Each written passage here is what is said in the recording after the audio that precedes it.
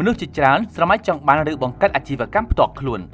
ប៉ុន្តែមុនសម្រាប់ចិត្តឈានដល់ការដាក់ទុនវិនិយោគធ្វើជាថៅកែទាល់តែគិតថារបរនេះល្អអាចរកចំណូលត្រឡប់មកវិញបានខ្ពស់ក៏ប៉ុន្តែអាជីវកម្មជើងចាស់មានបទពិសោធន៍ជោគជាំនិងទទួលបានជោគជ័យជាច្រើនឈរលើជំហរថាមិនទាន់គ្រប់គ្រាន់នៅឡើយទេប្រសិនបើយកគំនិតអាជីវកម្មបំលែងឲ្យបានផ្លែផ្កាល្អនោះតែអ្វីជាចំណុចខ្វះខាត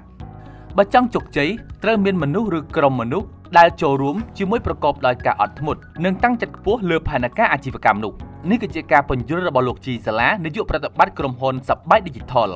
ដោនឡូតសូយ៉ូដើម្បីកំសាន្តអារម្មណ៍ជាមួយនឹងភាពយន្តចម្រុះព្រមទាំងតន្ត្រីដ៏ជក់ចិត្ត ក្នុងកិច្ចសម្ភាសន៍មួយជាមួយក្រុមអ្នកចងក្រងវីដេអូឯកសារស្ដីអំពីអាជីវកម្មនៅកម្ពុជាសហគ្រិនមានអាជីវកម្មច្រើនក្នុងដៃរូបនេះមើលឃើញថាបរិយាកាសអាជីវកម្មនៅកម្ពុជាសពថ្ងៃល្អប្រសើរនិងផ្ដល់ឱកាសដល់សហគ្រិនវ័យក្មេងច្រើនបើធៀបទៅនឹងពេលវេលាដែលលោកចាប់ផ្ដើមអាជីវកម្មដំបូងល្អប្រសើរនិងឱកាសច្រើនដោយថាមនុស្សបច្ចុប្បន្នមានចំណេះដឹងខ្ពស់ជាងមុនអាចថា100ដងរួមទាំងបច្ចេកវិទ្យាកាន់តែទំនើប ការបង្កើតគំនិតអាជីវកម្មប្រហែលមិនពិបាកទេព្រោះក្នុងសម័យ Digital Google ជួយបានច្រើនតែមានគំនិតអាជីវកម្មល្អគឺកាន់តែល្អគ្រាន់តែថាត្រូវការគ្រឹះសំខាន់បន្ថែមដើម្បីឲ្យដល់គោលដៅហើយយូរអង្វែង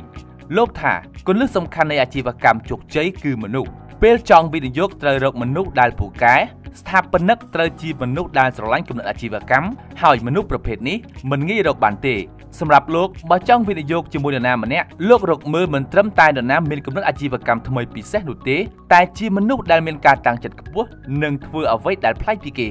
សហគ្រិនវ័យ40ឆ្នាំដដែលបានផ្ដល់ជាអនុសាសន៍ថាបើចង់ធ្វើអាជីវកម្មយុវជនមិនត្រូវមានតែការស្រមើស្រមៃនោះទេប៉ុន្តែត្រូវធ្វើសកម្មភាពឬអាចថាធ្វើការឲ្យអ្នកដទៃឲ្យបានល្អជាងមុនដើម្បីទទួលបានបទពិសោធន៍សម្រាប់អាជីវកម្មដោយខ្លួនឯងទៅថ្ងៃក្រោយ លោកជីសាឡាគឺជាសហគ្រិនមួយរូបដែលផ្ដើមអាជីវកម្មរបស់ខ្លួនដំបូងត្រឹមតែដើមទុន500ដុល្លារសហគ្រិនដែលអាចប្រើភាសាខ្មែរអង់គ្លេសចិនវៀតណាមនិងជប៉ុនរូបនេះមិនត្រឹមតែជានាយកប្រតិបត្តិនៃក្រុមហ៊ុនសបាយ Digital ប៉ុណ្ណោះទេលោកក៏ជាអគ្គនាយកនៃក្រុមហ៊ុនអាហារនិងភេសជ្ជៈដែលទទួលខុសត្រូវចំពោះអាហារ fast food ពីហាង Tulezur និង Lotteria